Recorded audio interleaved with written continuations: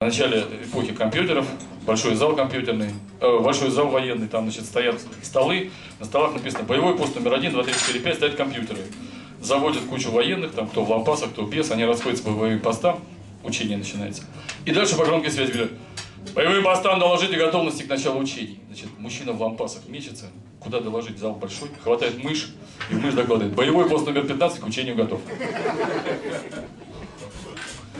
Генерал сидит, что ты мне принес заявку? Заявку принесли на МТО. Что ты мне принес?